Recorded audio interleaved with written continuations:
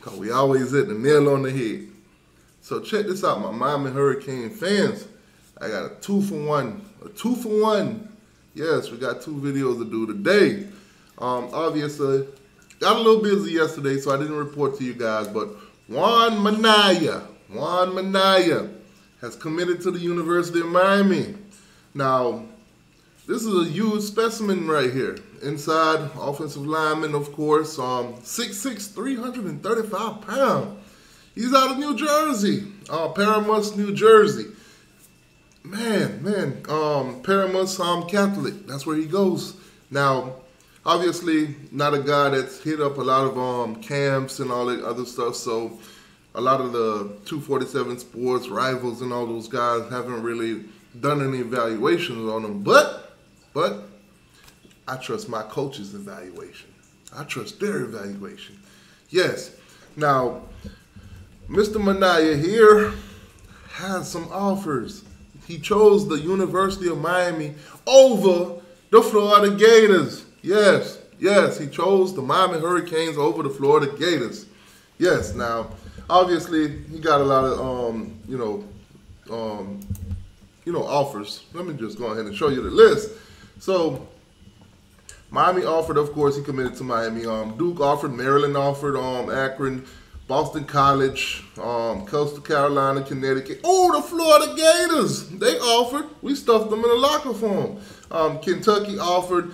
Um, Michigan State, Ole Miss, Penn State, Pitt, Syracuse, Temple, and West Virginia. A lot of D1 offers there. A lot of big name schools, SEC schools, um, Big Ten, all of that.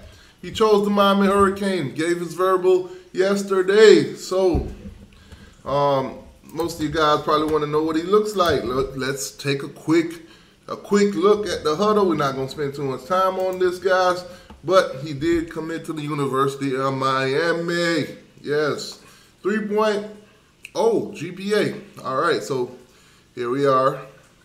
Boom, boom. Oh, that's a little man. That's a little man. That's that's easy work right there. That's easy work. That was a little man. All right, here we go. Let's see. Oh, all right, all right. Whew. Excuse me, guys. Early in the morning. Um, that was a double team. Can't put too much thought on another little man. Another little man. Easy work. All right, let's see. Let's see. Boom. All right. Another double team open up the gap, touchdown. Okay, cool. Nothing, nothing, nothing much. All right, all right. This, I'm seeing a lot of little guys on the D line, man. I, I can't, I can't lie, I can't lie to you guys. I'm seeing a lot of the, a lot of small, another small one, another small one. These defensive linemen up here is real. In what's going on in New Jersey? What are they feeding these defensive linemen? Are they not hungry? Do they need to go um get some defensive linemen from some single parent households. Deion Sanders. no, no, no. But um, yeah, small small guys. It seems like it's a lot of small guys. My my guy is dealing with a lot of lot of small, unphysical defensive linemen. I'm I'm sorry sorry to say it. But nonetheless, he's doing his job. He's doing his job. Now, you can't teach. You can't teach six six. That's one thing you can't teach. That height. I noticed our defensive line. Our, I'm sorry, our offensive line is going to be huge. I think Mario has already established a kind of stature, a kind of um, size, everything like that that he's trying to build that defensive line and build the trenches. To be honest with you, I think y'all seen enough. Um, I think y'all seen enough. One more time. One more time protect, protect, protect, boom. Okay, cool. Gave his quarterback enough time to do what he needed to do. But yeah, man, congratulations to my guy for picking the Miami Hurricanes and coming on board. Yes, yes. Um, welcome my guy to the University of Miami. Now, obviously, I'm on 247 Sports. ESPN um, has put out their um, FPI win possibilities for the Miami Hurricanes schedule 2023. Now, this is coming from an article on Inside the U. So, let's go ahead and just go straight to the win possibility, guys. More than likely, what they're going to do is they're going to predict our win for each game on the season. So let's just see what they got, and we'll find out. We'll find out. So, of course, um, you know, man. Of course, you know, last year wasn't all that great. So game one, game one, Miami wins. They're predicting a win. Game two, Miami loses. So they're predicting us to lose to Texas A&M. Um, game three, of course, that's going to be a win. Miami wins. Um, game, Miami wins, of course. This is um, Temple. So they're saying we're going to start three and one. Then we're going to be four and one. We're going to beat um, Georgia Tech. We play North Carolina. They're saying we're going to lose in North Carolina. So we're four and two after six games, guy. Halfway through the season, they got us predicted at four and two. Then we play um, Clemson. Then we lose that one. We're predicted to be four and three. Play Virginia. We win that one.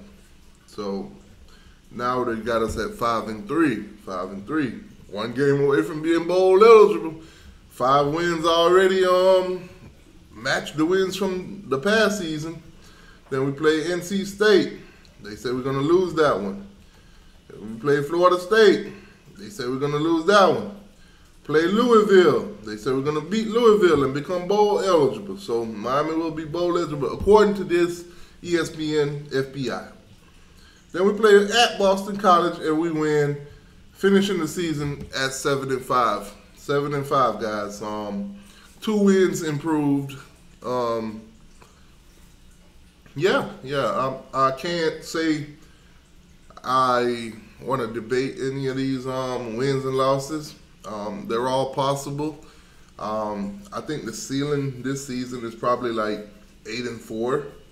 Um, yeah, you know, a lot of a lot of work to be done. I think more of more of the um, the com- competition you'll see in Miami is more likely it's going to be in 24 and 25.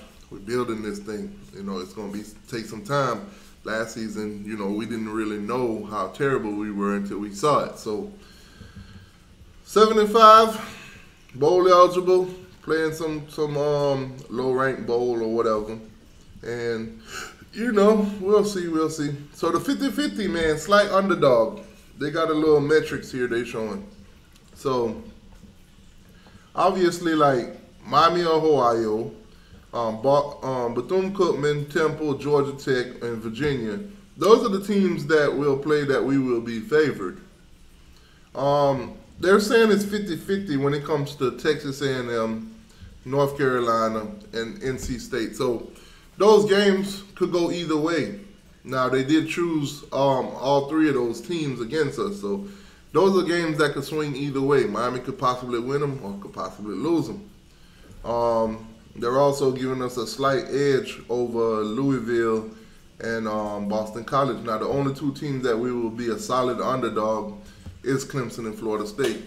Now, that's that's um what you call it. That's agreeable. That's um you know going into the season, those two teams do have a little bit of more upside and a, they have a little bit of edge against Miami. So you know, I can't say I, I disagree with anything in this, but hey, wait and see, man. Game game by game, you know, we'll see. We'll see. Anyways, guys, let me know how you guys are feeling. Um, new commit, um, Juan of course, offensive lineman. Um, hasn't been listed yet, but more than likely when they update the, the um, star rankings and everything, he'll be listed as a three star. But like, share, subscribe, guys. Like, share, subscribe. Um, T2Y, I'm out. Oh.